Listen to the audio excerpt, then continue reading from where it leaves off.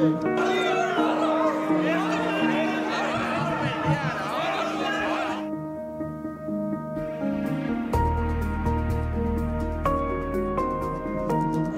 сейчас, если какой-то правитель появился, Никол Пашинян или не знаю кто, как там этого придурка назвать, то, что решил, что все, он глубоко заблуждается, и мир заблуждается.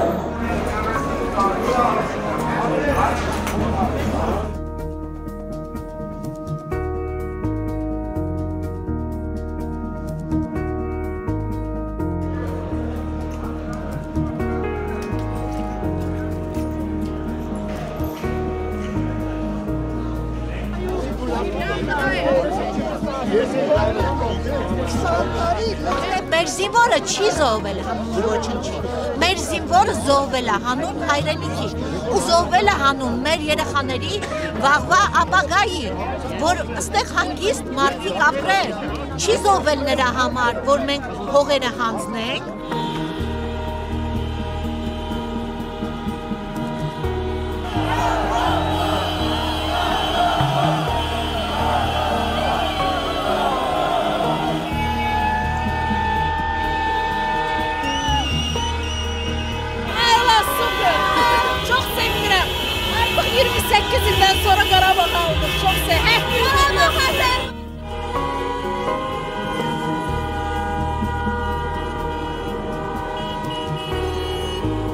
Dəqiqə mənim tələbələrim orada yaralarım sağlamlığı keşiyində durur.